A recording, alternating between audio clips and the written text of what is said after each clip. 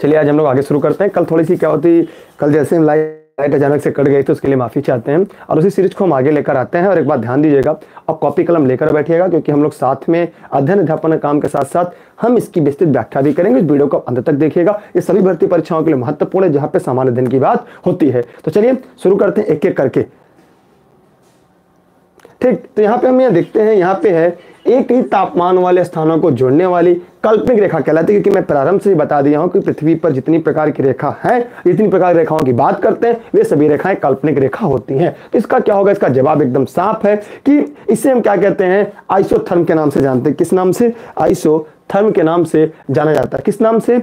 Isotherm कहा जाता है। तो बताइए आइसोथर्म क्या है? बताइए आइसोथर्म क्या होता है? सीधी सी बात है कि एक ही तापमान वाले स्थान को जोड़ने वाली काल्पनिक रेखा को समताप रेखा कहते हैं। नाम से स्पष्ट है कि कौन सी रेखा ये हम लोग पढ़ लिखते हैं? समताप रेखा या आइसोथर्म रेखा के नाम से जाना जाता है, इसलिए इसका जो उत्तर होगा वो चौथा विकल्प सही है। ठीक है, इसका विकल्प क्या है? चार, सही है, जैसे आप जुड़िएगा अपने सभी साथियों को शेयर करना ना भूलिएगा। नोटिफिकेशन नहीं है ना? चलिए, दुर्भाग्य है हमारा हमेशा। आगे बढ़ते हम लोग। आगे है। चलिए। आगे बढ़ते अगले प्रश्न की तरफ़। अच्छा आ गया। अगला है फ्रंटल फ्रंटल वर्षा किस कारण से होती है? अगला प्रश्न है कि फ्रंटल वर्षा किस कारण से होती है? जवाब दीजिएगा। थोड़ा स्पीड से चलेंगे कि आज हमें तीन सीरीज़ खत्म करनी है। ये कल का बचा हुआ हिस्सा भी आज पूरा करना है। आज हमें सुपर टेट प्राइमरी और अपर प्राइमरी के सिलेबस के बारे में भी व्याख्या करते हैं। तो फ्रंटल वर्षा किस कारण से होती है? जवाब दीजिएगा। फ्रंटल वर्षा किस कारण से होती है? जल्दी जवाब दीजिएगा। देखिए फ्रंटल वर्षा जो होती है, वह चक्रवाती गतिविधि के कारण होती है। ये शीतोष कड़बंदी जो चक्रवात होती है, उसके कारण होती है। तो ये होगा, इसका उत्तर क्या होगा तब? शीतोष कड़बंदी चक्रवाती गतिविधि के कारण होती है। फ्रंटल वर्षा के बारे में क्या होगा? चक्रवात हाई प्रेशर से लो प्रेशर की तरफ़ होता है तो वो तेज़ी से ऊपर की तरफ़ उठता है। इस समय क्या होता है? तूफ़ान ऊपर जाते हैं। कभी कभी इसमें ओले पड़ने की संभावना होती है। इस प्रकार इसका उत्तर क्या होगा? तीसरा, सत्ताईस का तीन होगा। ठीक है? और रिप्लाई सबका कर दीजिएगा सर हाँ यहाँ पे है, विश्वव्यापी तापमान का संभावित परिणाम क्या हो सकता है? जब बताइएगा, ये हमने पढ़ाया हुआ है आपको तो विश्वव्यापी तापमान तापन का संभावित परिणाम क्या हो सकता है? जल्दी जवाब दीजिएगा। जल्दी जवाब दीजिएगा, विश्वव्यापी तापन का संभावित परिणाम क्या हो सकता है? देखिएगा, सीधी सी बात है, अगर इस प्रश्न को पढ़ना, थोड़ा स्पीड से पढ़ेंगे, कि आज इसके जस्ट बाद हमें दो सीरीज़ और लेनी है। तो देखिए, बीसवीं सदी में भूमंडलीय स्तर पर धरातली सतह के तापमान में ज़ीरो से छह सेल्सियस की वृद्धि हुई। ज़ीरो से छह सेल्सियस की वृद्धि हुई है। विश्व व्यापी जो तापमान होता है, जो ग्लोबल वार्मिंग होता है, उसके परिणाम कारण समुद्र बर्फ़ पिघलेगी समुद्र का जलस्तर बढ़ेगा। जब समुद्र का जलस्तर बढ़ेगा, आपकी क्या आएगी? बाढ़ आएगी और बाढ़ आने से समुद्र रेखा डूबेगा। स्थान डूबेगा, फ़सलें प्रभावित होंगी तो इस सभी घटना का कारण ग्लेशियर पिघलना होगा। मानी ग्लेशियर पिघलेगी और इतनी समस्याएँ जन्म लेगी, इस प्रकार का जो उपयुक्त उत्तर होगा, क्या होगा? समुद्र के, बताइए क्या होगा? इसमें क्या होगा? समुद्र के स्तर में वृद्धि होगी, उसकी वजह से फ़सल का स्वरूप परिवर्तित हो जाएगा, कुछ फ़सल डूब जाएँगे तट रेखा परिवर्तित होगी तट रेखा क्या होगी? डूब जाएगा। इस प्रकार आलादीज उपयुक्त सभी होगा। क्या होगा? आलादीज उपयुक्त सभी होगा। ठीक? तो आप लोग जैसे जुड़ेगा, अपने सभी साथियों को शेयर कर दीजिएगा। खासकर चाहे बीओ के लिए केवीएस के लिए डीएसएसबी के लिए और super TET primary upper primary दोनों के सिलेबस के लिए ये हम आज आपसे व्याख्यात्मक रूप से बात करते हैं। आगे बढ़ रहे हम लोग। इस टॉपिक को पूरा पढ़ लीजिएगा। अगले सेक्शन की तरफ़ चलते हैं। अगला है पृथ्वी से के, से ऊपर चार क्षेत्रों में से सबसे कम ऊंचाई किसकी है? पृथ्वी से ऊपर के चार क्षेत्रों में से सबसे कम ऊंचाई किसकी है? तो बताइए, सबसे कम ऊंचाई किसकी है? ये भी सेक्शन हमने पढ़ाया हुआ है। अगर आप जानते होंगे तो बता लेंगे। नाम है स्टेटोस्पियर बताइए, क्या होगा? बताइए, इसमें क्या होगा? सीधी सी बात है, इसके बारे में आप जानते रहिएगा। इसमें होता है ट्रोपोस्पेयर ट्रोपोस्पेयर कहाँ होता है? ट्रोपोस्पेयर देखिए ट्रोपोस्पेयर को ये, देखिए, ये मेसोस्पेयर है, ये ट्रोपोस्पेयर है स्ट्रेटोस्पेयर समताप मंडल है मध्य मंडल है और क्षोभ मंडल है। तो सबसे पास क्या होगा? क्षोभ मंडल होगा। क्षोभ मंडल का मतलब क्या है? ट्रोपोस्पेयर डी या चौथा होगा। ठीक है? ट्रोपोस्पेयर का मतलब ये क्षोभ मंडल होगा, ये समताप होगा, पहले क्षोभ मंडल होगा ना? अंग्रेज़ी में नाम दिया है, बस, बाकी कुछ नहीं है इसमें। इसमें कुछ विशेष नहीं है, बस नेम क्या है? अंग्रेज़ी में दे दिया है। ठीक है? कॉन्सेप्ट क्लियर हो गया। चलिए, आगे बढ़ते हैं हम लोग। यहाँ तक कोई समस्या? कोई दिक्कत? जी, सही बताया अनुज जी, सही बताया आपने। आप लोग जैसे जुड़िएगा अपने सभी साथियों को शेयर ज़रूर कर दीजिएगा। ये शेयर करना ना भूलिएगा। ठीक है, आगे बढ़ते हम लोग। अगले टॉपिक तरफ़ थोड़ा सा प्रश्न जल्दी खत्म करेंगे इसके जस्ट बाद हम लोग को फिर संविधान की सीरीज़ शुरू करनी है। यहाँ पे हमारे सामने आता है प्रश्न, निम्नलिखित में से कौन सा कथन सही है? ध्यान से देखिएगा। यहाँ पे पूछा, निम्नलिखित में से कौन सा कथन सही है? सॉरी इसको खींच दीजिए उधर तो जरा थोड़ा सा उधर। बताइए क्या होगा? इसने पूछा है कि वायु के ताप में बढ़ोतरी से वायु की नमी धारण करने की क्षमता कम हो जाती है। जी नहीं, अगर वायु के तापमान में वृद्धि हो जाएगी तो नमी धारण करने की क्षमता कम हो जाती है। जी नहीं, बढ़ जाएगी। अब बताइए टेम्परेचर जब ज़्यादा होगा तो जल वाष्प ज़्यादा होगा ना? जल वाष्प वाष्पीकरण ज़्यादा होगा तो गलत हो गया। ताप में वृद्धि से वायु दाब कम हो जाता है। जी नहीं, ताप से वायु दाब में वृद्धि नहीं होती, पृथ्वी के गर्म होने से, पृथ्वी की सतह गर्म होने से उसके दाबमान में असर पड़ता है। दूसरा, निरपेक्ष आर्द्रता को वायु को प्रति घन मीटर से व्यक्त किया जाता है। जी, ये भी गलत है। निरपेक्ष आर्द्रता को नहीं व्यक्त किया जाता। अगला क्या है? प्रति एक सौ पैंसठ मीटर की चढ़ाई के साथ ताप में एक सेल्सियस कमी आती है। हमने आपको प्रारंभ में बताया था, जो क्षुभ मंडल होता है, उसमें हम जब एक सौ पैंसठ मीटर ऊपर जाते हैं तो एक डिग्री सेल्सियस तापमान क्या होता है? कम हो जाता है, माइनस हो जाता है, ऐसा क्षोभ मंडल में होता है। तो इस प्रकार इसका उपयुक्त विकल्प चौथा अथवा डी विकल्प इसका राइट आंसर है। डी क्या है इसका राइट आंसर है। ठीक? समझ में आया आप लोग को? या कोई दिक्कत, कोई समस्या आपको? हाँ अपने सभी साथियों को शेयर ज़रूर कर दीजिएगा। लाइक नहीं किया तो लाइक भी कर दीजिएगा आप लोग। फिर हम आगे अगले टॉपिक की तरफ़ बढ़ते हैं। अगला है हमारा, निम्नलिखित में से निम्नलिखित में से, निम्नलिखित में से कौन सी घटना भूमंडली तापमान से संबंधित मानी जाती है? बताइए, निम्नलिखित में से कौन सी ऐसी घटना है जो भूमंडली तापमान से संबंधित मानी जाती है? बताइए। लानीलो, नीनो, मोरडीन, दक्षिणी दोलन एलिनो बताइए क्या होगा? देखिए लालिनो एलिनो दक्षिणी दोलन, ये सभी एक ऐसी जलवायु परिवर्तन का कारण है। जब इनका जन्म होता है तो पूरी दुनिया का तापक्रम बदल जाता है। पूरे वर्ल्ड का तापक्रम बदल जाता है। किसका? पूरे वर्ल्ड का। और ये सब अगर देखा जाए, ये सभी कहाँ पैदा होते हैं, अगर इनकी बात करें तो ये सभी, चाहे लालिनो की बात करें, एलिनो। ये एलिनो की जो बहन होती है, वो लालिनो होती है। क्या होती है कि जो एलिनो होती है, उसकी बहन लालिनो कहलाती है, इसे दक्षिणी दोलन कहते हैं। अगर इनकी बात करें, इनका जन्म कहाँ से होता है, आइए ध्यान से देखते हैं। अगर आपको पढ़ना है, अगर समझना है तो हम इसकी व्याख्या कर दे नहीं पढ़ना है तो कोई बात नहीं। ठीक है? बफरिंग ज़्यादा हो रही है क्या चेक कर लीजिएगा।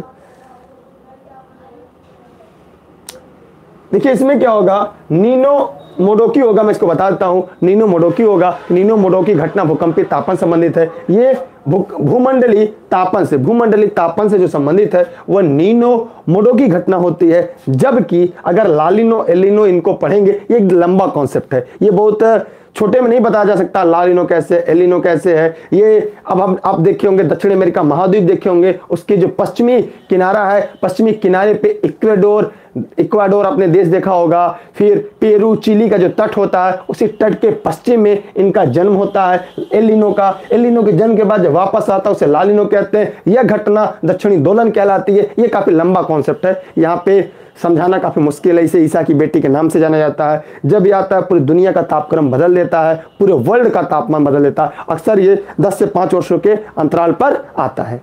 ठीक है? आगे बढ़ते हैं हम लोग अगले टॉपिक की तरफ़।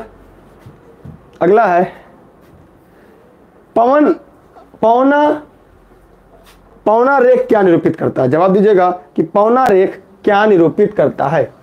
पवन प्रक्षोभ, पवन आकड़ा, पवन दाब, पवन ताप, क्या होता है? देखिए, एक लाइन उसको बताएँगे, समय भी आपका न जाए ज़्यादा ज़्यादा, कि पौना रेख क्या निरूपित करता थोड़ा समय कम है, इसलिए जल्दबाजी करना, क्योंकि आपको एक सेक्शन और हमें पढ़ाने हैं। तो यहाँ पे देखिएगा पौना रेख वो आरेख है, जिससे पवन प्रक्षोभ, क्या होता है? पवन प्रक्षोभ पवन प्रक्षोभ यहाँ पे है। पवन प्रक्षोभ निरूपित किया जाता है, इसकी स्क्रीन शॉट लीजिएगा ये सब थोड़े से यूनिक प्रश्न है। ठीक है, ये सब क्या है? पवन प्रक्षोभ होता है पवना रेख को निरूपित करता जो पवन के आरेख होते हैं, वो पवन प्रक्षोभ के द्वारा निरूपित किया जाता है। ठीक है, इस थोड़ा सा यूनिक प्रश्न अगर आप चाहें तो स्क्रीन रख लीजिएगा, बाकी आपकी इच्छा। आगे बढ़ते हैं, अगला आपके सामने है, डोल ड्रम कटिबंध कहाँ होता है? अगला प्रश्न है कि डोल ड्रम कटिबंध कहाँ पर होता है? आइए इसके बारे में आपको बता देते हैं।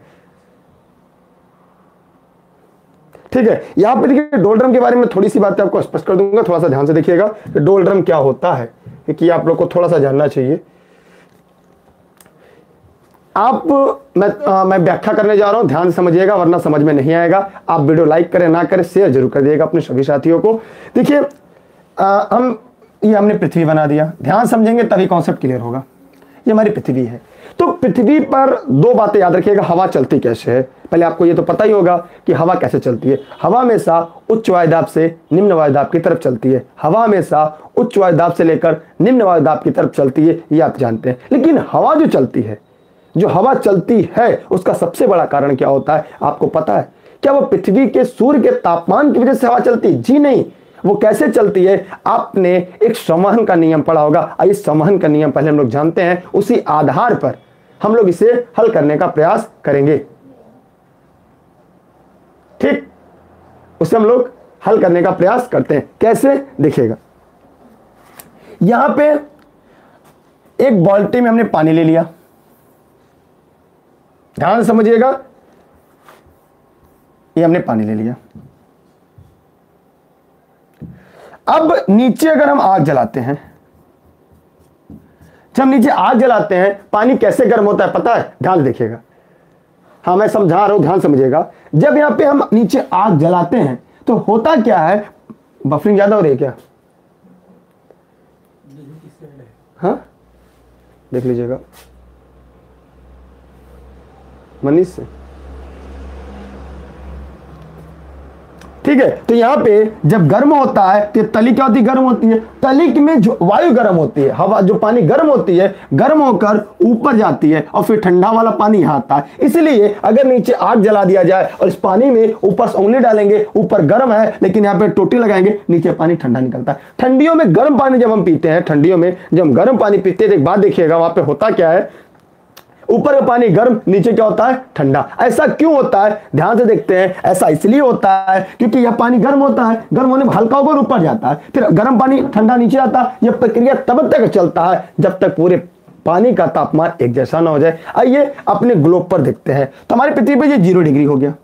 ज़ीरो डिग्री से पाँच डिग्री ऊपर, पाँच डिग्री नीचे, सूर्य कहीं भी किसी भी स्थिति में होती है तो यहाँ पे सूर्य तप सबसे ज़्यादा मिलता है। जब सूर्य तप ज़्यादा मिलेगा तो क्या होगा? यह स्थान गर्म होगा। जब गर्म होगा, इनके संपर्क में जो हवा आएगी, वो गर्म होगी। गर्म होने के बाद हल्की होगी, हल्की होने के बाद ऊपर उठेगी। बात ध्यान दीजिएगा कि भूमध्य रेखा के पाँच डिग्री ऊपर, पाँच डिग्री नीचे आने के बाद ठीक, क्या होगी? हवा हल्की होकर ऊपर उठेगी, उस स्थान को घेरने के लिए इधर से हवाएँ चलेंगी तो यह स्थान क्या हो जाएगा? एकदम शांत हो जाएगा। इसे शांत पेटी या डोल ड्रम के नाम से जाना जाता है। इसे शांत पेटी या डोल ड्रम के नाम से जाना जाता है। याद कर लीजिएगा, लिख लीजिएगा कि भूमध्य रेखा से पाँच डिग्री ऊपर, पाँच डिग्री नीचे की जो पट्टी होती है, उसे डोल ड्रम कहते हैं। क्या कहते हैं? डोल ड्रम कहा जाता है। और ये जो डोल ड्रम होता है, क्या ये शांत पेटी के नाम से भी जाना जाता है? तो अब आइए, अब आते हैं प्रश्न की तरफ़। प्रश्न आपका क्लियर है। यहाँ पे पूछ क्या रहा है कि डोल ड्रम कटिबंध कहाँ पाए जाते हैं? कटिबंध को अंग्रेज़ी में जोन कहते हैं। ठीक, इसे पेटी भी हम लोग कहते हैं। डोल ड्रम अब बताइए कहाँ मिलता है? भूमध्य रेखा पे, ध्रुव पे, कर्क पे, मकर पे, न कर्क पे, न कर पे, न भूमध्य पे ध्रुव पे ये मिलेगा कहा? भूमध्य रेखा के निकट। कॉन्सेप्ट क्लियर कॉन्सेप्ट क्लियर हुआ? नहीं कॉन्सेप्ट क्लियर तो इसकी स्क्रीनशॉट रख लीजिएगा। ये आपके काम आ जाएगी। यही जो है, ये आपके हमेशा काम आएगी। आगे बढ़े। अगला प्रश्न है, नवंबर 2007 में निम्नलिखित में से किस तूफ़ान ने बांग्लादेश पर हमला किया? बताइएगा। किस तूफ़ान ने हमला किया? देखिए, इसमें जवाब आपका जो सीडर है, लिख लीजिएगा। ये ज़्यादा इंपॉर्टेंट नहीं आपके लिए, सीडर है। ठीक है, सीडर होगा। ठीक। आगे बढ़ रहे हैं अगले प्रश्न की तरफ़। अगला है, पृथ्वी के वायुमंडल में कितनी ऊंचाई तक गैसों का आवरण है? पृथ्वी की वायुमंडल एटमॉस्फेयर में कितनी ऊंचाई तक गैसों का आवरण है? जवाब दीजिएगा। देखिए, यहाँ पे दो बातें हैं। ये विकल्प के हिसाब से अगर देखा जाए तो आप आसानी से उत्तर दे सकते हैं, क्योंकि पृथ्वी के जो वायुमंडल है, वहाँ 200 किलोमीटर तक तो विरल है मतलब संघन में है, उसके बाद विरल है, क्योंकि 1600 किलोमीटर ऊंचाई तक वायुमंडल में गैस कण मिलते हैं। लेकिन ऊपर जाने के बाद गैसें हल्की हो जाती हैं, इसलिए इसका उपयुक्त उत्तर होगा 200 किलोमीटर। ध्यान दीजिएगा, ये थोड़ा सा विवादित प्रश्न है। कारण ये है कि 1600 किलोमीटर तक ऑक्सीजन के कण मिलते हैं, लेकिन वो बिरल अवस्था में होते हैं। कैसी अवस्था में होते हैं? बिरल अवस्था में होते हैं, लेकिन 200 किलोमीटर तक जो है, वो क्या है? सघन अवस्था में होते हैं। दोनों बात याद रखिएगा। अगर एक प्रश्न पूछ दिया जाए हमारे वायुमंडल में, एक प्रश्न ये पूछ दे कि हमारे वायुमंडल में सबसे ज़्यादा भारी मात्रा में गैसें किस मंडल में मिलती हैं? तो क्षोभ मंडल मिलती है। उसका कारण क्या है? ग्रेविटेशनल फोर्स है क्योंकि जो पृथ्वी होती है, अपने आसपास वायुमंडल को अपने गुरुत्वाकर्षण शक्ति की वजह से खींच कर रखती है। इसलिए वायुमंडल हमारे पृथ्वी के सबसे पास का क्षोभ मंडल होता है। इसमें लगभग भारी गैसों का पचहत्तर गैस अकेले क्षोभ मंडल के पास होता है। ठीक है, साफ़ चल रहा है ना? साफ़ चल रहा है ना? आप लोग बताइएगा, आवाज़ साफ़ आ रही वीडियो साफ़ चल रही है ना? इसके बाद तुरंत संविधान की सीरीज़ चलेगी और आज हम सिलेबस की व्याख्या कर देंगे। चलिए बहुत बहुत धन्यवाद आप लोग का। यहाँ पे देखिए एल एलिनो प्रकट होता है। एल एलिनो प्रकट होता है। तो आइए एल एलिनो कैसे प्रकट होता है, इसके बारे में भी हम लोग बातें करते हैं। ठीक है, अगर एलिनो की बात करें एलिनो कैसे आता है तो काफ़ी लंबा कॉन्सेप्ट है, लेकिन हम आपको पूरा बताते हैं ये कैसे आता है। आइए, इसके बारे में आपसे हम दो मिनट का समय लेंगे, तीन मिनट का, ताकि हम मैप ढूंढ सके। उस मैप के आधार पर आज हम आपको ऐसे टॉपिक बताएँगे, जो आपको शायद कहीं मिला होगा। ठीक है, आइए, शुरू करते हैं। वर्ल्ड का मैप इसमें है? हाँ? हाँ होगा। एक मिनट रुकिएगा आप लोग। एक मिनट रुकिएगा। एक मिनट रुकिएगा आप लोग। कहाँ से? फ़ोन बंद करिए, कहाँ? एक मिनट रुकिए, एक मिनट रुकिए, हम आपको एलनो पूरा समझा रहे हैं। एक मिनट रुकिएगा। वर्ल्ड मैप है कहीं? इसमें वर्ल्ड मैप होगा कि नहीं पता नहीं। एक मिनट रुकिएगा हम देख रहे हैं वर्ल्ड मैप आपके लिए। हम्म? एक मिनट रुकिएगा, हम आपको बता रहे हैं।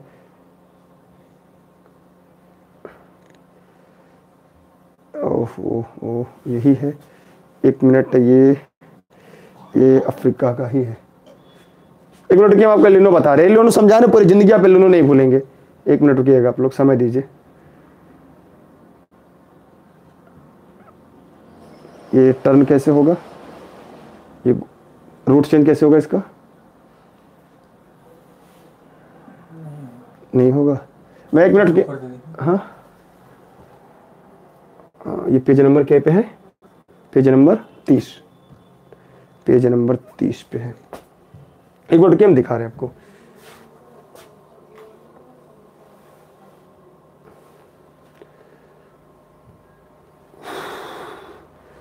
एक मिनट गेम हम दिखा रहे हैं आपको।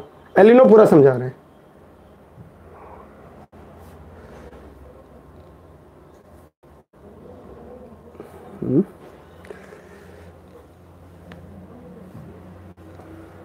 एक मिनट रुकिएगा आप लोग, थोड़ा सा ध्यान रखिएगा दरअसल में विश्व का मैप लेना है ना?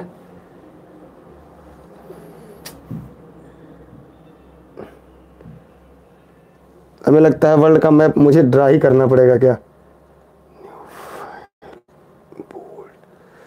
यहाँ पे है वर्ल्ड का मैप, कहाँ गया? वर्ल्ड मैप, देखिए जल्दी से कहाँ दिख रहा है। एक मिनट रुकिएगा, हम दिखा रहे हैं आप लोग, एक मिनट रुकिएगा। एक मिनट रुकिएगा।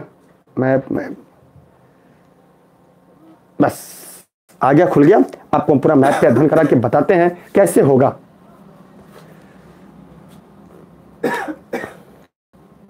इंपोर्ट जाने दीजिए। एलिनो क्या है? एलिनो जब आता है तो पूरे विश्व का तापमान बदल देता है। एक बहुत ही महत्वपूर्ण टॉपिक है आप एक बार समझ लेंगे तो पूरे जीवन काल आपके लिए काम देगा। सबसे बड़ी बात एलिनो के साथ साथ दक्षिणी दोलन क्या होती है, उसको भी सीखते हैं कि दक्षिणी दोलन क्या होता है। दक्षिणी दोलन में एक बात और आपको देखने को मिल जाएगा। एलिनो लालिनो क्या होता है? कभी कभी आप देख कि कभी कभी जब हमारे यहाँ टेम्परेचर बदलता है या जब गेहूँ, जब रबी की फ़सल बोई जाती है तो वहाँ पे कहते हैं कि इस बार बारिश नहीं होने की वजह से फ़सल लेट से बोया जा रहा है। उस दशा में, उस दशा में गाँव में लोग कहते हैं कि सूखा पड़ गया। तो जो सूखा की बात करते हैं, वह एलिनो की ही बात करते हैं। किसकी बात करते हैं? वह एलिनो की ही बात करते हैं। आइए हमारा विश्व का मैप खुल चुका है।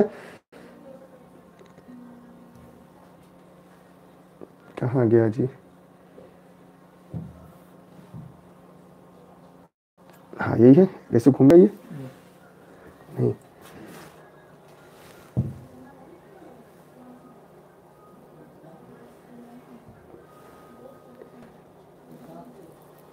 एक मिनट रुकिए, घूम तो रहा है, लेकिन यही है। हम्म।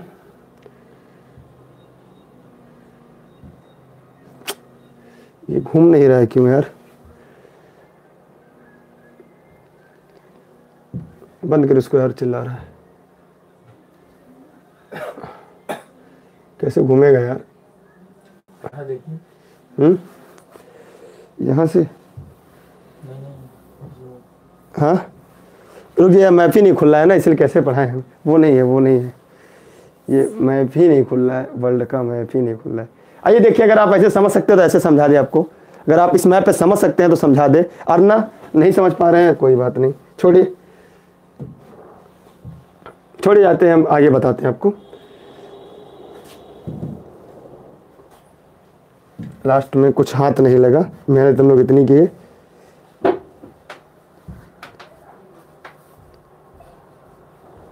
चलिए आइए देखते छोड़िए।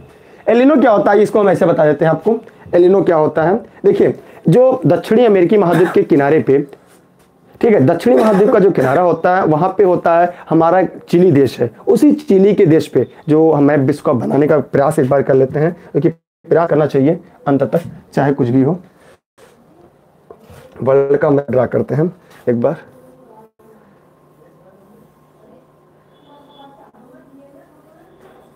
ये हो गया आपका। ठीक है, थोड़ा सा गड़बड़ बनेगा, चिंता ना करिएगा आप लोग।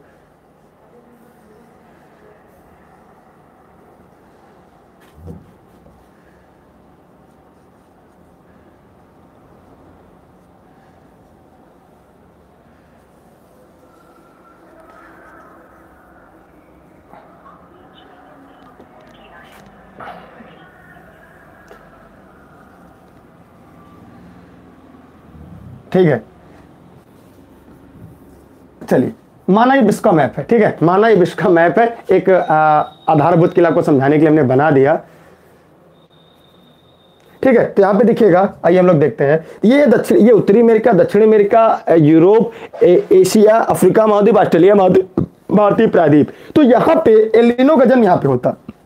देखिएगा एलिनो का जल जो जन्म होता है एलिनो ये दक्षिण अमेरिका महाद्वीप के, इन पश्चिमी किनारे पर होता है। यहाँ पे इसलिए होता है, यहाँ पे रेखा जाती है भूमध्य रेखा तो यहाँ पे जुलडी जो भूमध्य रेखा जाती है, उसी के ठीक नीचे, उसी के ठीक नीचे यहाँ पे क्या होता है? एलिनो का जन्म होता है। जब यहाँ पे जन्म होता है तो इसकी वजह से पूरी दुनिया का तापक्रम बदल जाता है। होता क्या है? यहाँ पे जो बनना चाहिए हाई प्रेशर वो बन जाता है लो प्रेशर उल्टा इसका होता क्या है? कि हवाएँ इधर से इधर की तरफ़ आती है। यहाँ पे अटलांटिक महासागर, यहाँ पे दक्षिण सागर, यहाँ पे प्रशांत महासागर और यहाँ पे ऑस्ट्रेलिया महाद्वीप। अब क्या होता है? हवाएँ के रुख विपरीत दिशा में हो जाती है और हिंद महासागर का, हिंद महासागर, जो यहाँ पे हमारा हिंद महासागर है, उसका तापमान पाँच डिग्री सेल्सियस बढ़ जाता है। जब पाँच डिग्री सेल्सियस बढ़ जाता है तो यहाँ पे लो प्रेशर काम करता है। जब यहाँ पे लो प्रेशर काम करता है, हवाएँ ऊपर की तरफ़ उठती हैं और जो भारतीय प्रायद्वीप पे हवाएँ जानी चाहिए, वो हवा भारतीय प्रायद्वीप पे न जाकर वो वापस किसकी तरफ़ आ जाती है?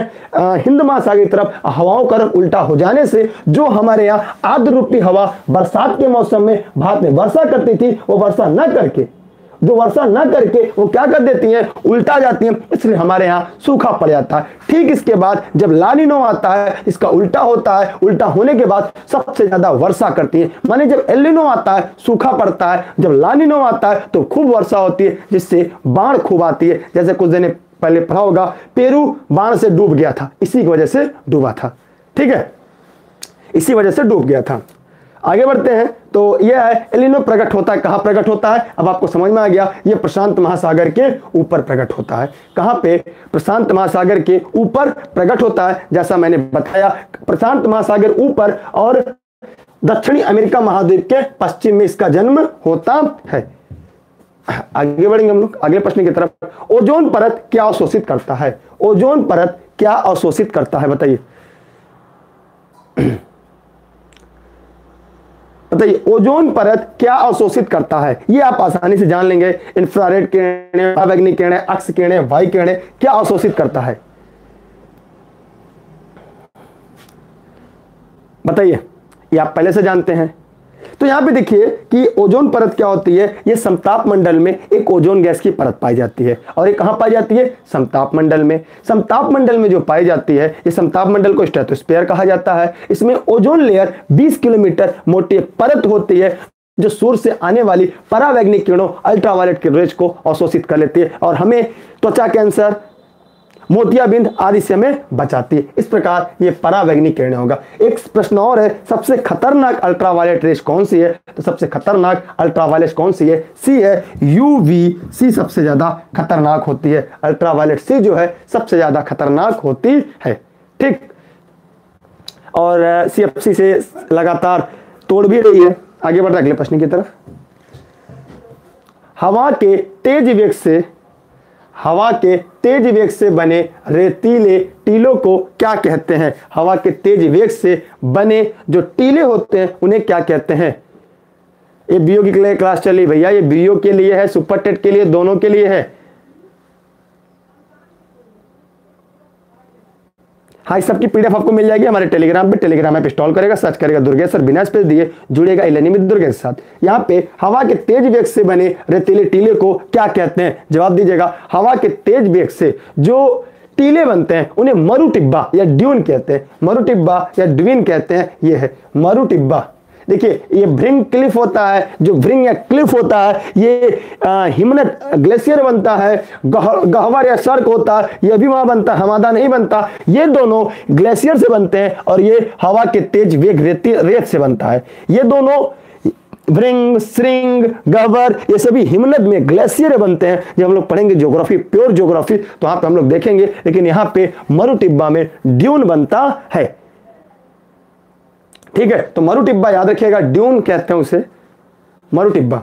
अगले प्रश्न की तरफ़ हम अग्रसर होते हैं। अगला प्रश्न हमारे है, वायु में ऑक्सीजन का प्रतिशत कितना होता है बताइएगा। हवा में ऑक्सीजन की जो मात्रा है, वो कितनी है? तो आप जवाब ज़रूर दीजिएगा। उम्मीद करता हूँ आप इसका जवाब हर हाल में दे लेंगे।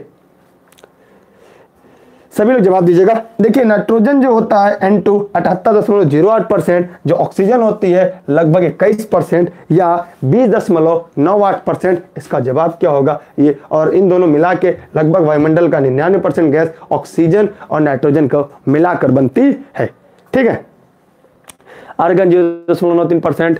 जी। अगर लिखना चाहें तो लिख लीजिए। अगर आप लोग को लिखना है तो लिख लीजिएगा। देखिएगा, सबसे ज़्यादा नाइट्रोजन मिलती है। लिख लीजिएगा आप लोग।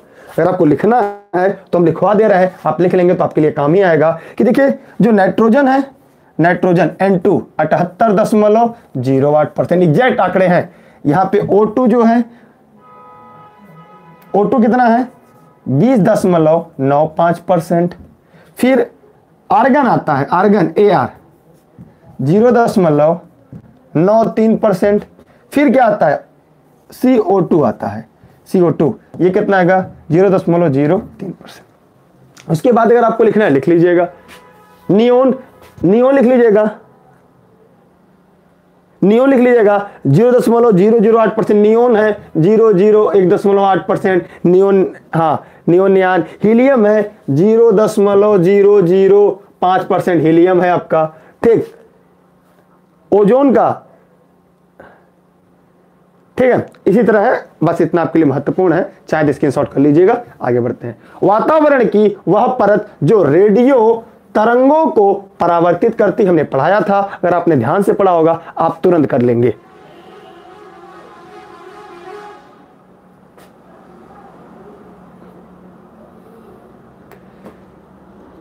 बताइएगा, और आपको बेहतर लगेगा शेयर कर दीजिएगा, बेहतर लगेगा लाइक कर दीजिएगा। लाइव होने का मैं सब, पहले सूचना आपको अपने टेलीग्राम पे देता हूँ क्योंकि हमारे लाइट की दिक्कत है, इस वजह से हमें थोड़ी सी दिक्कत होती आएँगे कब नहीं आएँगे। देखिएगा समताप मंडल में तो आपको पाई जाती है ओजोन परत, लेकिन आयन मंडल जो है, ये आपके रेडियो तरंगों के लिए प्रमुख मंडल होते, रेडियो तरंगों को परावर्तित करती है। हमारे सैटेलाइट जो होते हैं, उपग्रह जो होते हैं, इसी मंडल में लॉन्च किए जाते हैं। इसमें हवाई जहाज़ उड़ने की संपूर्ण दशाएँ होती है, इसमें ओजोन ओजोन गैस पाई जाती है। फिर क्षोभ मंडल में मौसम संबंधित सभी गतिविधियाँ होती हैं। मौसम संबंधित क्या होती हैं? सभी जो गतिविधियाँ करती हैं, वायुमंडल बाहर हवाएँ कम पाई जाती हैं। मौसम संबंधित गतिविधियाँ होती है, ऊपर जाने पर तापमान कम होता है इसका उत्तर आयन मंडल होगा। क्या होगा? आयन मंडल होगा। आगे बढ़ते हम लोग, अगले प्रश्न की तरफ़। पृथ्वी की सतह से पृथ्वी की सतह से सबसे दूर वातावरणीय परत को क्या कहते हैं? अभी जस्ट मैंने बताया, जो पृथ्वी के सबसे दूर जो वातावरणीय सतह है, उसे क्या कहते हैं? उसे हम बहिर्मंडल कहते हैं। बहिर्मंडल कान सुनने वाला नहीं, उसे हम बहिर्मंडल कहते हैं। क्या कहते हैं? बहिर्मंडल के नाम से जानते हैं। समताप मंडल दूसरी आती है, मध्य मंडल तीसरी आती है, आयनिक मंडल चौथी आती है, पांचवी आपकी आती है। क्या? बहिर्मंडल आता है। ठीक है?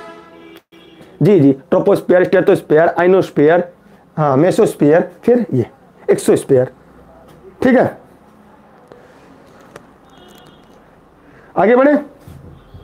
अगला प्रश्न आपके सामने है, ओजोन परत का अवक्षय मुख्यतः किस कारण से होता है? ज्वालामुखी उद्भेदन, विमान ईंधन रेडियोधर्मी किरणें क्लोरोफ्लोरोकार्बन किससे होता है? ओजोन परत का, माने ओजोन लेयर माने ओ थ्री लेयर का, कैसे होता है? बताइए। जवाब साफ़ है क्लोरोफ्लोरोकार्बन जिसे हम सीएफसी कहते हैं। जिसे हम क्या कहते हैं? सीएफसी कहते हैं। क्या कहते हैं? क्लोरोफ्लोरोकार्बन एक कार्बनिक यौगिक है। क्लोरोफ्लोरोकार्बन जो है, ये क्या है? यह एक यौगिक है। कैसा एक है? यह केवल कार्बन, क्लोरीन, हाइड्रोजन, क्लोरीन परमाणुओं से बनता है।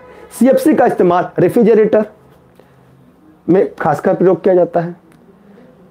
ठीक है। और ओजोन विशेषकर योगदान देखते हुए सीएफसी गैसों को इस पर रोक भी लगाया जाता है।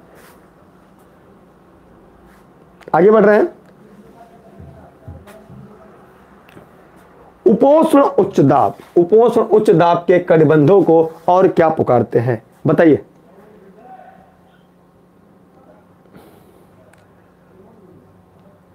आइए इसको ध्यान समझते हैं। ठीक है। इसको ध्यान से समझते हैं। ध्यान समझेंगे, आपको पूरे जीवन काल भूलेगा नहीं। आइए ध्यान से। ठीक है, आइए ध्यान समझते हैं।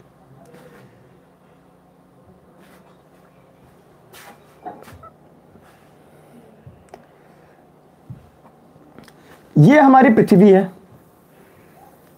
ठीक है, अभी मैंने आपको डोलड्रम पढ़ा था। आपको डोलड्रम याद है? डोलड्रम कुछ देर पहले पहले बताया था, जिन्होंने स्टार्टिंग से क्लास लिया होगा, उनको पता होगा, यहाँ पे ज़ीरो से पाँच डिग्री ऊपर, पाँच डिग्री नीचे एक पेटी होती है, जिसे हम क्या कहते हैं? डोल ड्रम पेटी कहते हैं या शांत पेटी कहते हैं। ये भूमध्य रेखी पेटी होती है। आइए ध्यान से देखिएगा भूमध्य रेखा से,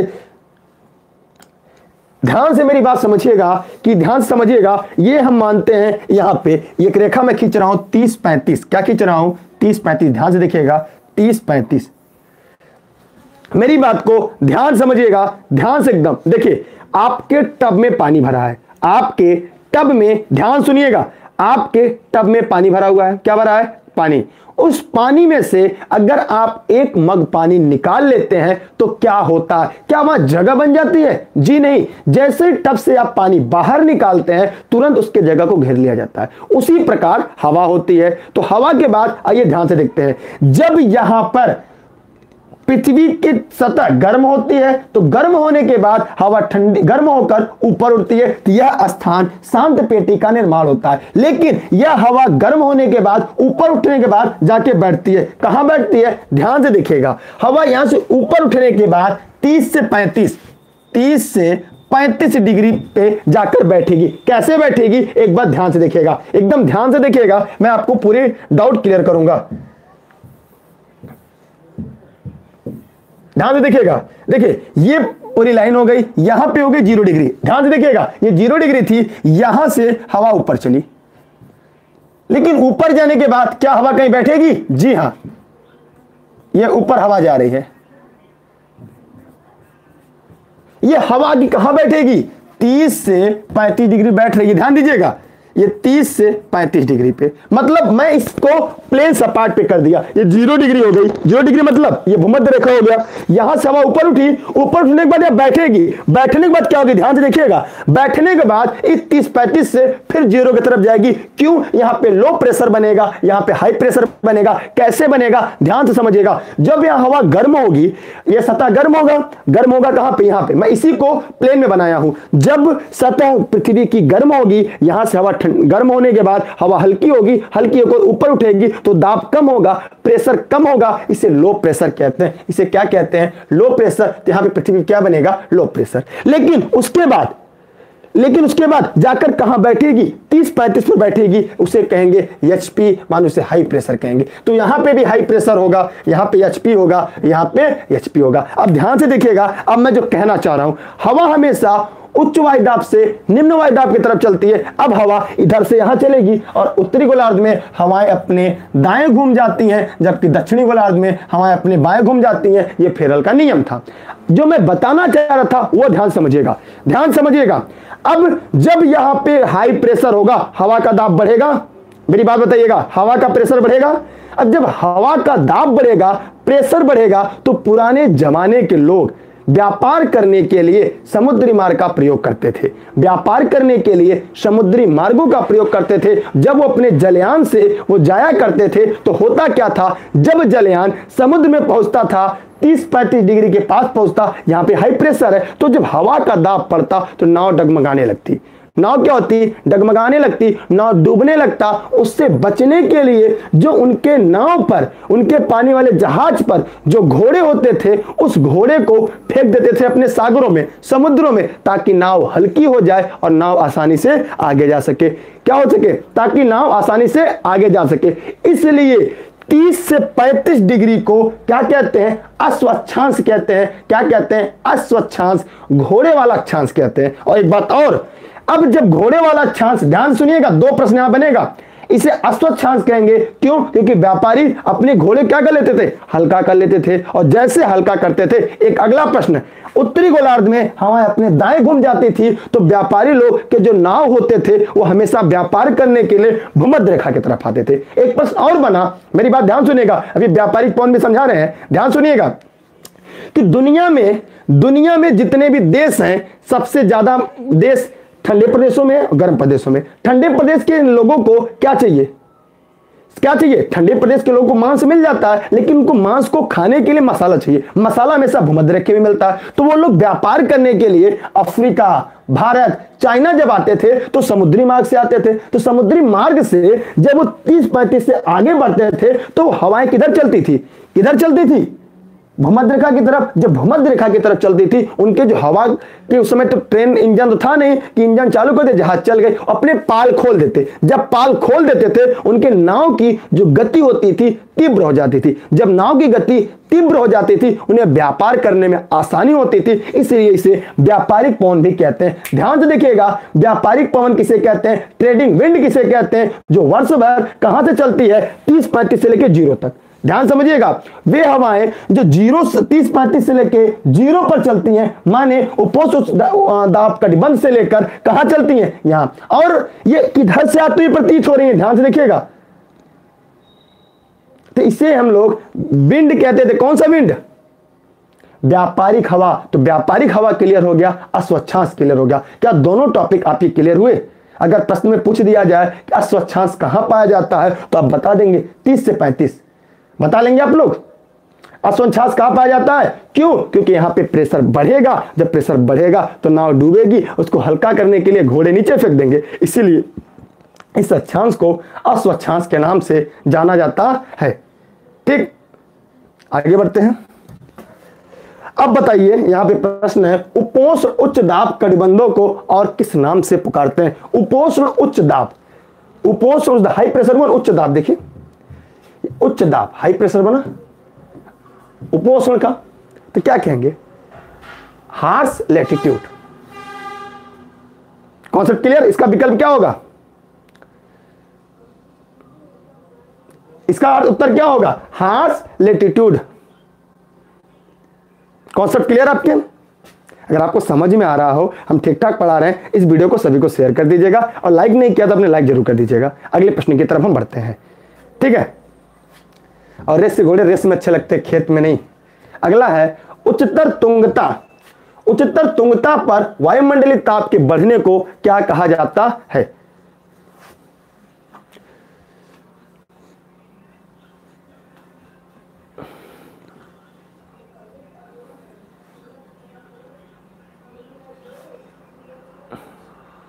बताइए क्या होगा? उच्चतंत्र तुंगता। देखिए, इसको क्या कहते हैं?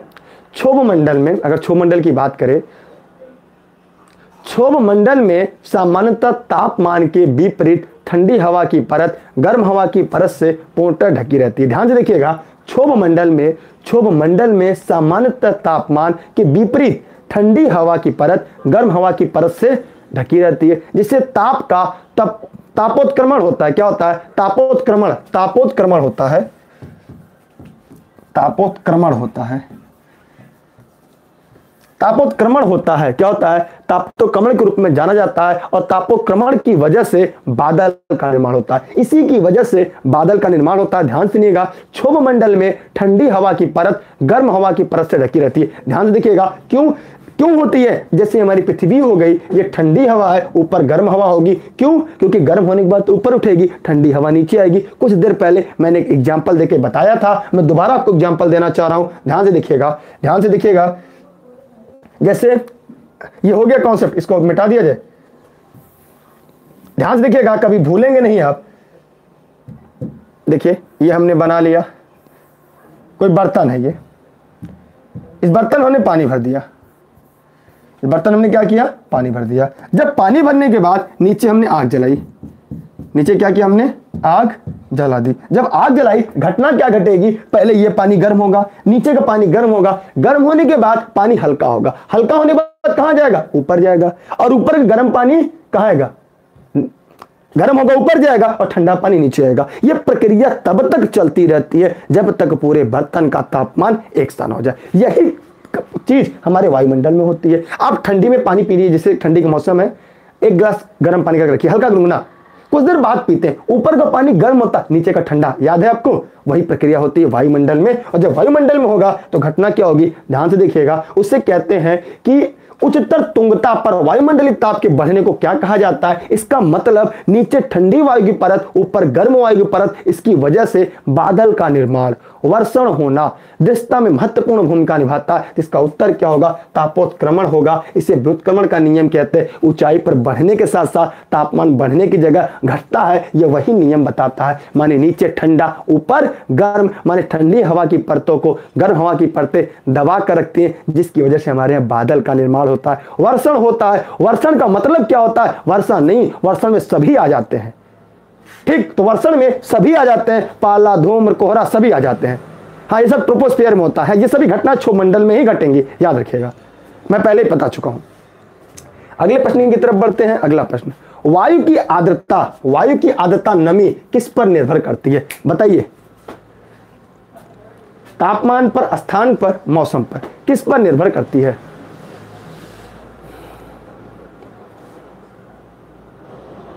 किस पर? मैं बताऊँ, जब आला दी जा जाए तो लगभग 80 परसेंट सही होता है। देखिए, इसका उपयोग तो आपने सही बताया औला दीज होगा, कैसे होगा, याद रखिएगा। आदता से तात्पर्य, वायु में जलवाष्प की मात्रा से लिख लीजिएगा। आदता से तात्पर्य जल वाष्प की मात्रा से, वायु में जल वाष्प की मात्रा से है।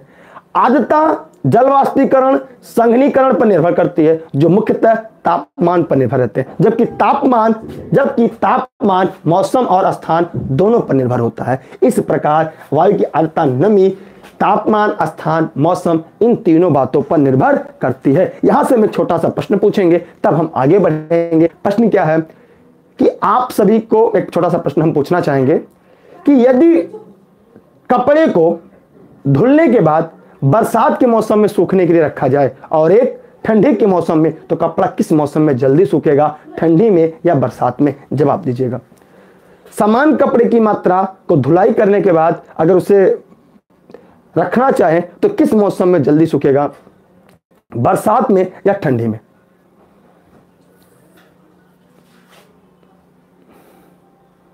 बताइए, जवाब दीजिए, बहुत सरल सवाल पूछा हमने।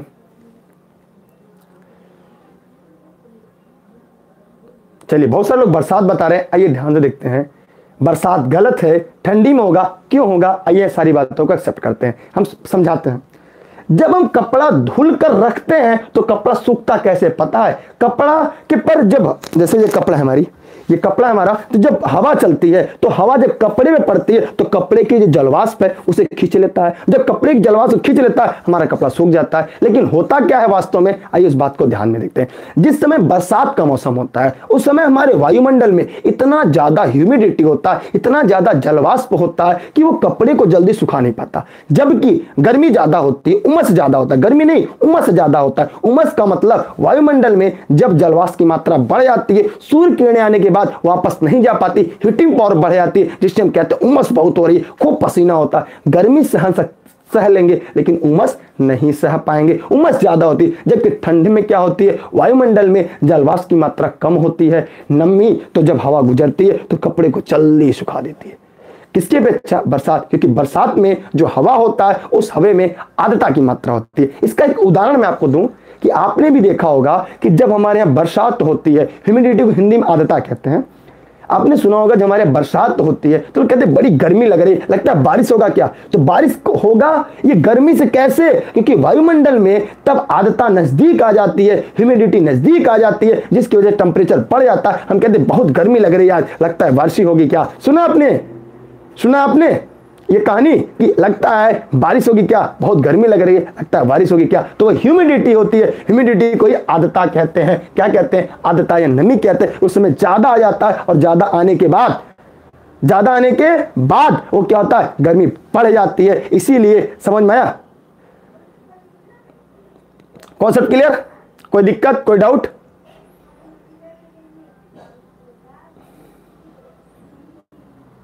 ठीक है? अगर आगे परीक्षा में प्रश्न आएगा तो ठंड लगाइएगा। अब कोहरा और नहीं जानते, हमने प्रश्न आपको बता दिया। आगे बढ़ते हैं, अगले प्रश्न की तरफ़। अगला है, किसके ऊपर ताप तीव्रता पूर्ण बढ़ता है? बताइए, किसके ऊपर ताप ताप जो होता है तीव्रता पूर्ण बढ़ता जाता है? जवाब दीजिएगा।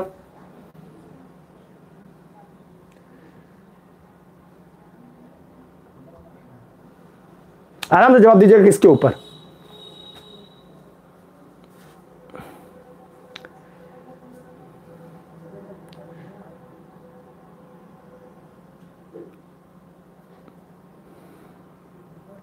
बताइएगा।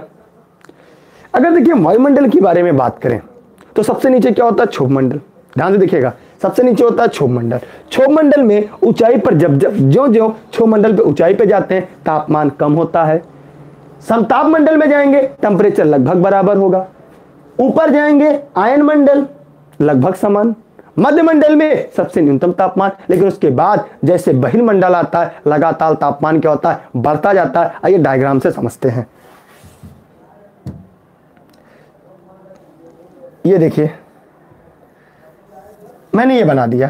ठीक, क्या किया मैंने? इस डायग्राम को बना दिया। यहाँ पे रख दिया मैंने ज़ीरो डिग्री अब बात को ध्यान से देखिएगा। क्षोभ मंडल में ऊंचाई पे जाने से तापमान कम हुआ। ध्यान देखिएगा क्षोभ मंडल में ऊंचाई पे बढ़ने के साथ साथ तापमान कम हो रहा है।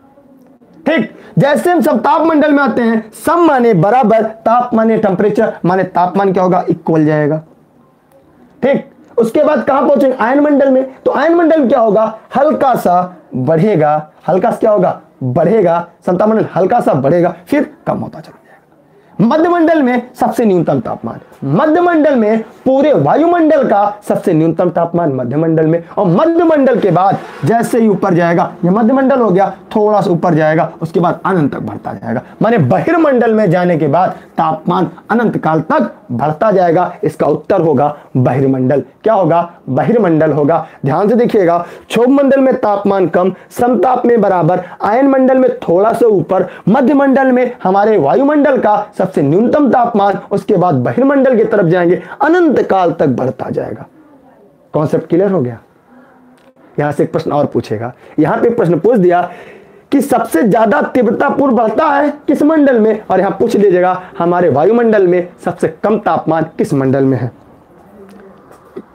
हमारे वायुमंडल में सबसे कम तापमान किस मंडल में है? जवाब दीजिएगा। किस मंडल में है? जल्दी जवाब दीजिएगा। किस मंडल में है? किस मंडल में हमारे पृथ्वी का सबसे न्यूनतम तापमान होता है? मध्यमंडल। सही जवाब। मध्यमंडल में हमारे वायुमंडल का सबसे सबसे कम तापमान होता है। हमारे पूरे वायुमंडल का सबसे न्यूनतम तापमान मध्यमंडल में होता है। कहाँ होता है? मध्यमंडल में होता है। ठीक। और आप लोग जैसे हमने आपको फ़ोन नंबर जब हम दे देते हैं, मोबाइल नंबर, आप लोग कॉल मत किया करिए। मैं लाइव रहता हूँ, खाना खा रहा हूँ, बैठा हूँ, पढ़ रहा हूँ, पढ़ा रहा हूँ, लगातार लोग कॉल करते हैं। आप कॉल करने से बचा करिए। आप भी ज़रूरत पड़ा करिए, मैसेज छोड़ा करिए। हम भी इंसान है, हमारे पास चौबीस घंटे का समय होता है। आप लोग लगातार कॉल करते हैं। यार, हमारे पास दिन के चौबीस घंटे होते, चौबीस घंटा दो मिनट नहीं होता। आप लोग समझा करिए इस बात को, अध्यापक होने जा रहे हैं। ठीक है, अधिकारी होने जा रहे हैं, दोनों होने जा रहे हैं आप। तो चलिए, आगे बढ़ते हैं, और आगे super TET primary, upper primary, BEO की अगर ऑनलाइन क्लास आपको ज्वाइन करनी है, अगर आप पढ़ रहे हैं तो सही है, नहीं पढ़ रहे हैं तो कोई बात नहीं। उसके लिए हमारे यहाँ ऑनलाइन क्लास स्टार्ट है, six three zero, six three double four three six seven पर। व्हाट्सएप करके आप हमारे बीईओ की online class super TET upper primary set TET UP TET MP TET सभी क्लासेस प्रारंभ हो चुकी है। पैरल अगर आपको चाहिए तो देख लीजिएगा। ठीक है, अगर आपको बेहतर लग रहा है, यानी के साथ जुड़ना जुड़िएगा। कल से दस सुबह में नौ दस से ग्यारह ग्यारह से बारह जीएस की दो सेक्शन चलेगी। मेरे द्वारा पढ़ाया जाएगा पेट क्लास में आप लोग को मिलता रहेगा। ठीक, आगे बढ़ते हैं, अगले प्रश्न की तरफ़। ठीक है, यहाँ इसकी स्क्रीनशॉट ले लीजिएगा। हमारे फेसबुक पेज इलेनी विद दुर्गेश से इसकी नोट्स हमारे टेलीग्राम पे मिल जाएगी। दुर्गेश सर सर्च करके इलेनी विद दुर्गेश से ज़रूर जुड़ेगा टेलीग्राम से। आगे बढ़ते हम लोग। अगले प्रश्न की तरफ़। इसके बाद तुरंत अगली सीरीज़ जाएगी दस मिनट के अंतराल पर। यहाँ पे है, वायुमंडल में ट्रोपोस्फियर के ऊपर कौन सी परत पाई जाती है? ट्रोपोस्फियर के ऊपर कौन सी परत पाई जाती है? बताइए, ट्रोपोस्फियर के ऊपर कौन सी परत पाई जाती है? अब आप जवाब दीजिएगा। आराम से बताइएगा।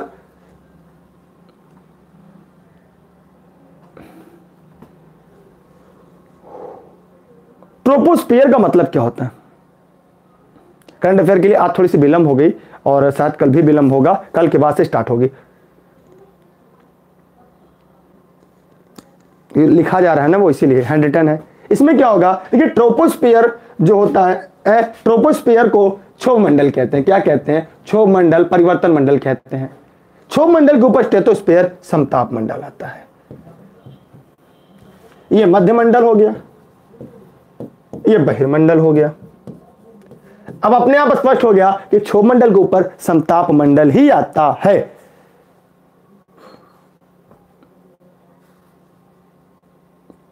ठीक है?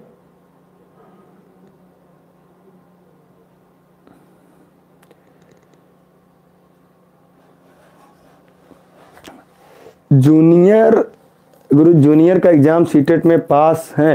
तो जूनियर का ही सीटेट दे पाएँगे। जो जूनियर का पास है जूनियर का दे पाएगा, जो प्राइमरी का पास है प्राइमरी का दे पाएगा। ठीक है? अगले प्रश्न की तरफ़ बढ़े। समझ में आ गया? चलिए आगे बढ़ते हैं। आप लोग लाइक शेयर कर दिया करिए यार, आप लोग इतना तो कर सकते हैं। उस चक्रवात को क्या नाम दिया गया था, जिसके कारण बांग्लादेश उजड़ गया? जवाब दीजिएगा, उस चक्रवात को क्या नाम दिया जाए, जिसकी वजह से बांग्लादेश उजड़ गया था?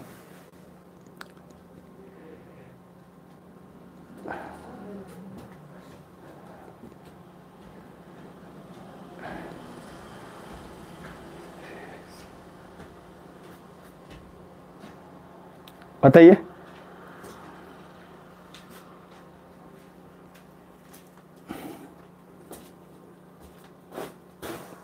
देखिए, इसमें चक्रवात एस आई डी आर है। एस आई डी आर नाम उसका रखा गया था और यह बांग्लादेश में अब तक का सबसे भीषण चक्रवात रहा है। यह 15 नवंबर 2007 को आया था। इस भीषण प्राकृतिक आपदा में लगभग उनके 3000 लोग मारे गए थे। इस भीषण चक्रवात को सफ़र सिम्सन सफ़र सिम्सन के नाम से जाना जाता है। सफ़र सिम्सन पैमाने पर चक्रवात की श्रेणी को पाँच में रखा गया था। सफ़र सिम्सन ये हो जाएगा सफ़र सिम्सन देखिए सफ़र। सफ़र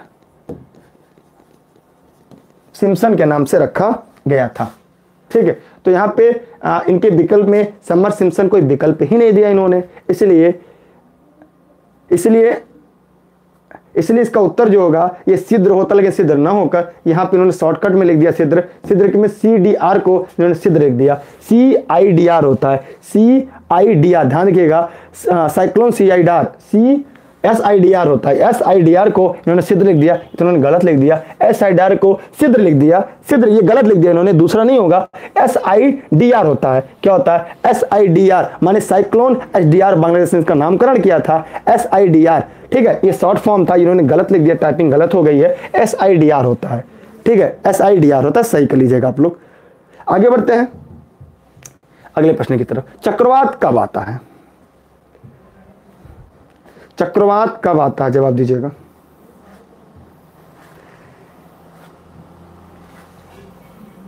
चक्रवात कब आता है? जवाब दीजिए। चक्रवात कब आता है?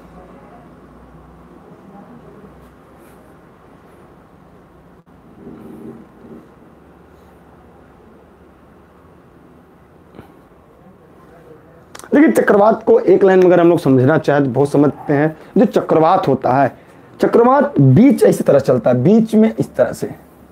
क्योंकि इसका सबसे बड़ा कारण क्या होता है? यहाँ पे एलपी होता है, यहाँ पे एचपी होता है। एचपी माने हाई प्रेशर अंदर लो प्रेशर होता है तो हवा हमेशा हाई प्रेशर से लो प्रेशर की तरफ़ चलती है। बीच में ये मिलीबार होता है। अगर प्रश्न पूछ दिया जाए कि चक्रवात की चक्षु क्या होती है, इसमें तो नहीं पूछा है। वीडियो के नोट अभी कुछ दिन के बाद मिलेंगे, ठीक है? ये नोट्स आपको मिल जाएँगे और ऑनलाइन क्लास के नोट्स अभी आपको कुछ दिन बाद से मिलेंगे। याद रखिएगा, जो चक्रवात की चक्षु पूछता है, चक्रवात की आँख पूछता है तो चक्रवात की चक्षु आँख हमेशा चक्रवात के मध्य में होता है। याद रखिएगा, चक्रवात की जो चक्षु होती है, चक्रवात की जो आँख होती है, वो हमेशा सदैव चक्रवात के मध्य में होता है। यहाँ पे लो प्रेशर होता है, यहाँ पे हाई प्रेशर जब दबाव बनता है तो बीच में टर्न होता है जिसमें चक्रवात का जन्म होता है। एक बात या, याद रखिएगा चक्रवात बीच में और हाई होता है। और वायु दाब को किसमें नापते हैं? मिली बार में नापते हैं। किसमें नापते हैं? मिली बार यम्बी में नापते हैं। ये होता है वायु दाब के मापने का पैमाना यूनिट। ठीक? आगे बढ़े। मिली बार। ठीक है? तो इसका उत्तर क्या होगा? जब केंद्र में हाँ ये होगा। जब केंद्र में निम्न दाब और चारों उच्च वायु दाब होता है तब। तो क्योंकि इधर की तरफ़ क्या होगा? प्रेशर होगा। जैसा कि मैंने बता दिया। नोट्स अभी आपको उपलब्ध नहीं नोट्स आपको कुछ दिन के बाद होगी। छब्बीस अभी नोट्स लिखा जा रहा है। नोट्स अभी मैं आपको दिखाएँ, अभी नोट्स लिखा जा रहा है, दिखाएँ मैं आपको।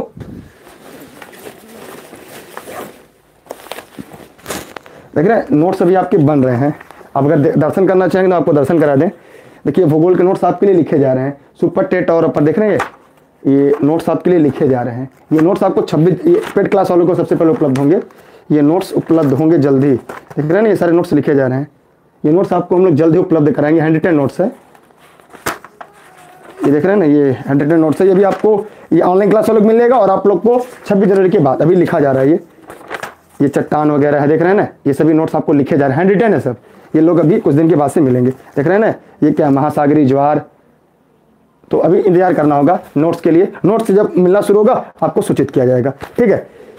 अभी धीरे धीरे करके थोड़ा थोड़ा काम होगा ना जी। एक ही दिन तो होगा नहीं।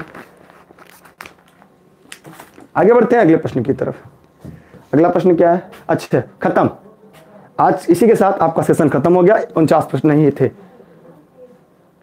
प्राइमरी टेट कल से स्टार्ट है। अपर प्राइमरी भी स्टार्ट है। अगर आप लोग को ऑनलाइन क्लास ज्वाइन करना मोस्ट वेलकम एक दो दिन की दिक्कत थी वो दिक्कत खत्म हो गई। कल से सारी क्लासेज हो जाएगी। इसके बाद आ, हम सुपर टेट की एक सिलेबस की व्याख्या करेंगे, उसके तुरंत बाद हम और आप दोनों लोग मिलते हैं और मिलने के बाद एक नए मिशन की तरफ़ बढ़ते हैं। अभी कितना बज रहा है? साढ़े नौ से दस सुपर टेट के सिलेबस की चर्चा करते हैं और दस बजे से लेकर हम इसकी अगली सीरीज़ लेकर आते हैं संविधान की। ठीक है, फिर दोनों लोग मिलकर हम लोग पढ़ते हैं। ये वीडियो आपको कैसा लगा, कमेंट करके ज़रूर बताइएगा। अगर आपको बेहतर लगे तो शेयर करना ना भूलिएगा। ठीक है, ऑनलाइन क्लास के लिए आपका मोस्ट वेलकम है। यदि आपको ऑनलाइन क्लास ज्वाइन करना इलेनी दुर्गेश में आपका स्वागत है। जौनपुर जनपद में हमारी क्लासेस संचालित हो रही है। जौनपुर से है तो आपका मोस्ट वेलकम। है जहाँ पे मैं स्वयं आपको पढ़ाऊँगा। और ऑनलाइन क्लास अगर आप ज्वाइन करेंगे, आपको दी बेस्ट है।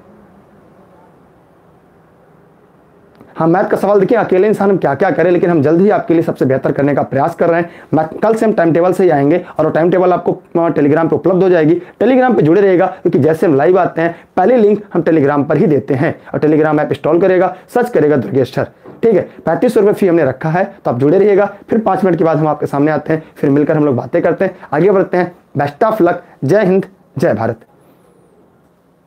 ठीक है, आप क्लासेस ज्वाइन करेंगे, आपको सूचना मिल जाएगी। ऑफलाइन वालों को पूजा जी भी समय मिलेगा। फिर नोट्स अभी थोड़ा सा समय दीजिए, लिखा नहीं गया पूरा ना, जब तक लिखना नहीं होगा, तब तक आपको उपलब्ध नहीं करा पाएँगे। ठीक है बेस्ट ऑफ़ लक हमने क्वेश्चन नंबर 31 का आंसर नहीं बताया जी भैया।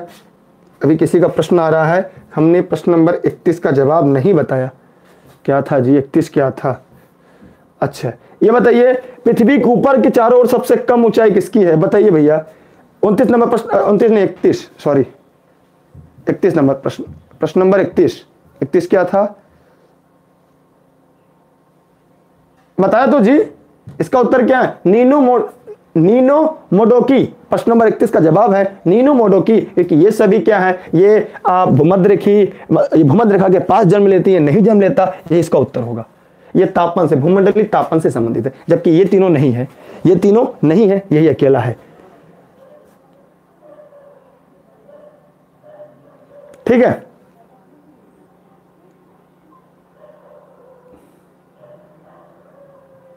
कॉन्सेप्ट क्लियर नोट्स की फ़ीस बन जाएगी, तब आपको सूचित किया जाएगा। इसी के साथ आप सभी को बहुत बहुत धन्यवाद।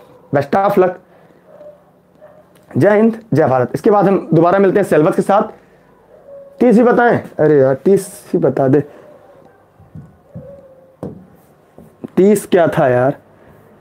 अरे यार, तीस में ये बताइए, हमने आपको बताया है छो मंडल में ऊंचाई पे बढ़ने के साथ साथ एक सौ पैंसठ मीटर ऊपर जाने पे तापमान कम ना होता है। जब हम एक सौ पैंसठ मीटर ऊपर की तरफ़ जाते हैं परिणाम स्वरूप एक डिग्री सेल्सियस तापमान क्या होता है? नीचे आता है। बस इसका विकल्प चौथा सही है। और कोई सवाल?